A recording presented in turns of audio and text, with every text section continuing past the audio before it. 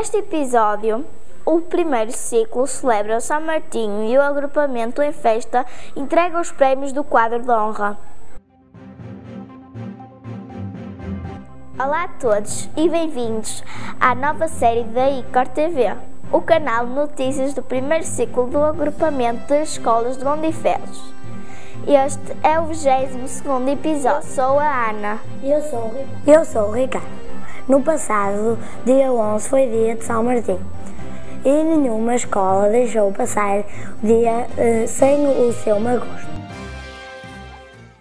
Em Cabalões, o dia acordou solarento.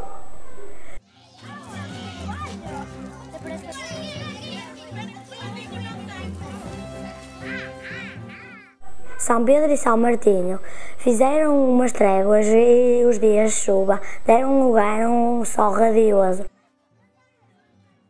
São Martinho estava em festa, comemorava o seu dia e nós, aqui na escola, também quisemos participar nos festejos com diversas atividades alusivas a este dia. Da parte da manhã visualizamos a tradicional lenda de São Martinho no quadro interativo e dedicámos algum tempo à expressão plástica. Fizemos cartuchos para aconchegar as castanhas quentinhas que iríamos assar mais tarde. Enfeitámos os cartuchos com a Maria Castanha e cada um de nós completou o trabalho com efeitos a seu gosto. Para completar as brincadeiras da manhã, cantamos uma canção alusiva a este dia.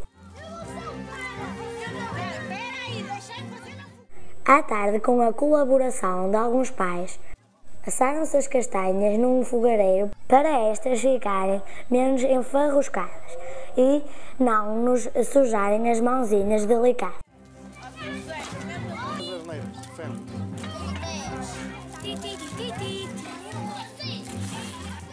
Enquanto o perfume das castanhas assadas pairava no ar, fizemos uma fogueira com caruma para que todos pudéssemos pôr à prova a, a nossa capacidade de saltar sem nos queimar.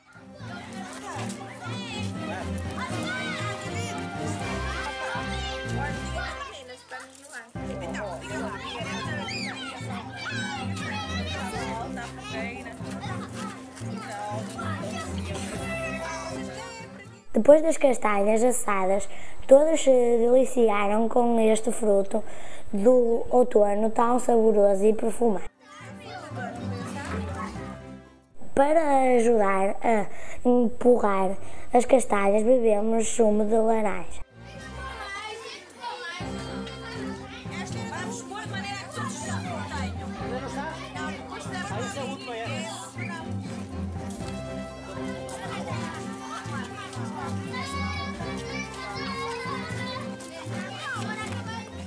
Já o sol começava a querer fugir quando nós começamos a saltar à fogueira.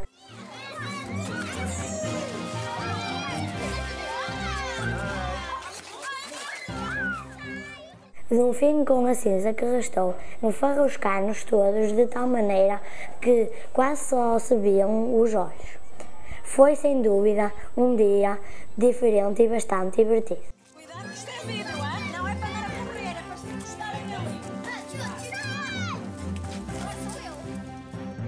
Em Gondifelos, o São Martinho também não foi esquecido. O ditado popular refere que toda a festa quer véspera. E como tal, a semana anterior foi aproveitada pelos alunos do primeiro ciclo e familiares para a realização da embalagem que recebesse as castanhas. Esta tinha de ser executada com materiais reciclados, como é tradição encontrar nas feiras e festas da época surgiram importantes obras de arte que ornamentaram o átrio exterior da escola P3 durante uma semana. Professores e comunidade apreciaram com satisfação os dotes artísticos da comunidade. Após dias de chuva intensa, mais uma vez, São Martinho fez um milagre e presenteou-nos o dia 11 de novembro com sol radioso para possibilitar a comemoração deste dia tão esperado pelos alunos. Durante a manhã, várias atividades relacionadas com o acontecimento foram desenvolvidas na sala de aula das turmas de pré-escolar e primeiro ciclo. À tarde, Todos os alunos, com entusiasmo e alegria, se reuniram no pavilhão da Escola P3 para assistir à lendária dramatização de São Martinho por brilhantes atores. Os alunos do terceiro ano apresentaram os provérbios recolhidos junto da família e os mais pequeninos do pré-escolar exibiram os seus dotes musicais com canções alusivas ao tema. De seguida, o recreio exterior foi o palco da brincadeira. Roda à volta das castanhas a assar na fogueira. Saltos por cima dela, fumo, euforia. As castanhas ficaram assadas e prontas para colocar nos cartuchos. Estavam quentinhas e boas, acompanhadas pelo sumo.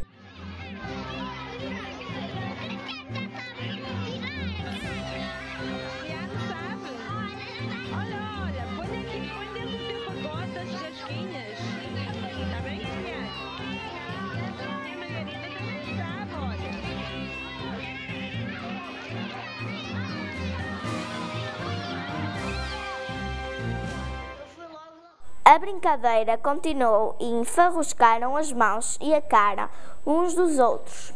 Foi um dia de alegria, satisfação e tradição.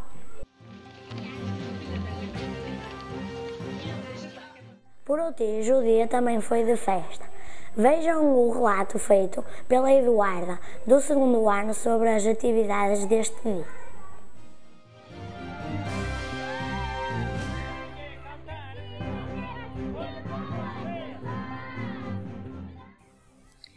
O dia de São Martinho na escola de Utias foi na segunda-feira, dia 11 de novembro. Participaram os alunos, professores, mais e auxiliar da escola.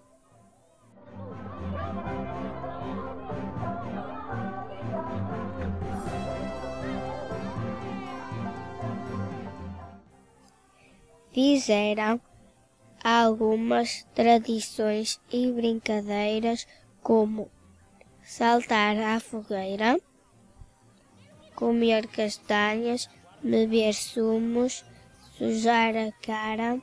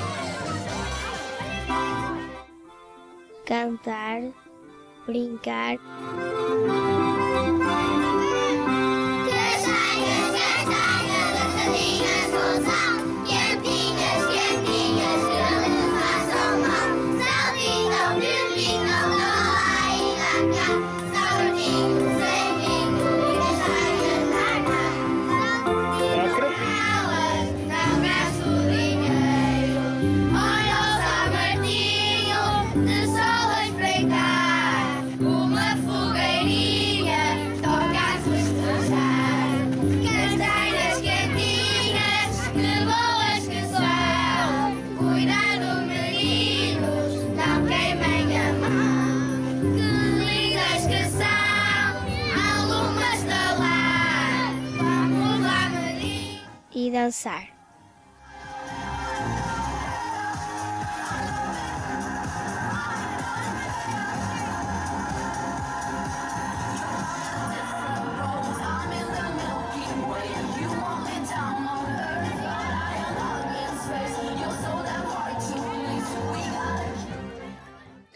Tudo isto para celebrar o São Martinho. Foi muito divertido e fixe. Mas o dia 15 de novembro foi a altura da grande festa de todo o agrupamento com a entrega dos quadros de honra.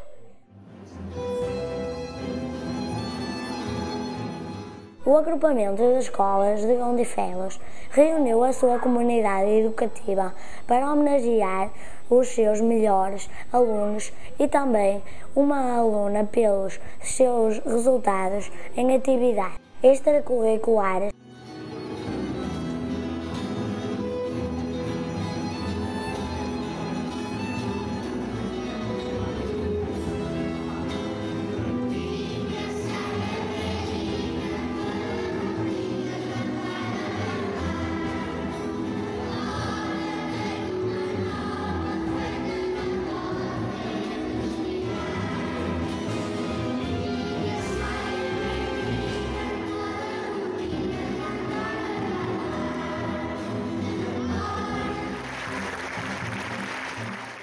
Foram também homenageados os professores aposentados no último ano letivo.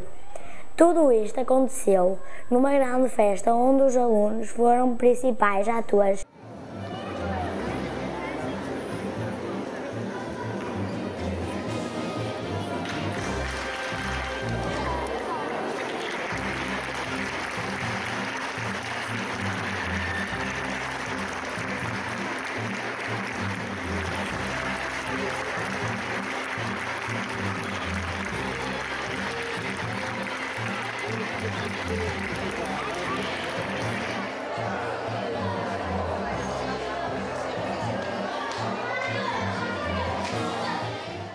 E que contou com a participação do rancho folclórico de Gondifelos e do grupo musical de Pedras de Água.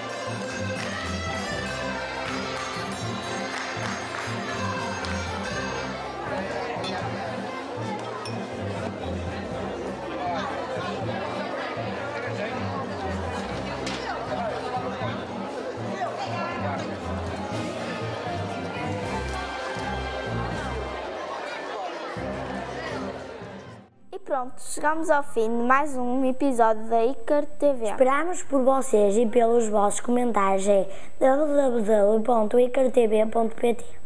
Subscrevam os nossos vídeos no YouTube, cliquem no botão gosto e partilhem-nos com os vossos amigos. Não se esqueçam que também nos podem encontrar no Mel. Basta pressionar o botão verde do comando e escolher o canal 800 mil. Até lá!